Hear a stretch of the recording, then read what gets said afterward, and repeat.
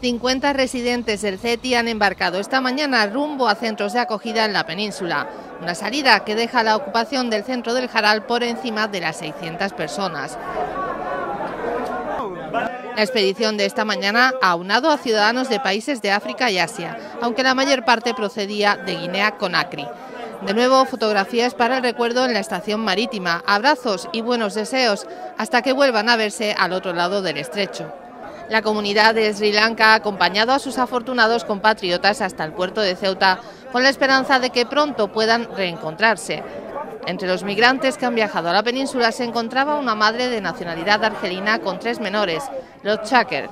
Su marido, con permiso de residencia en España, ha permanecido en Ceuta para llevar a sus hijos a la escuela. Hoy, finalmente, ha podido partir junto a su familia.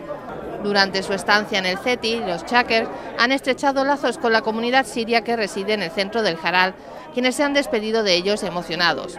También esperan su turno para embarcar hacia Algeciras.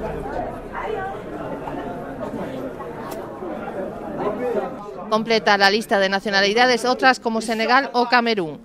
Ninguno de los integrantes del grupo es demandante de asilo, sino que han sido trasladados por razones humanitarias.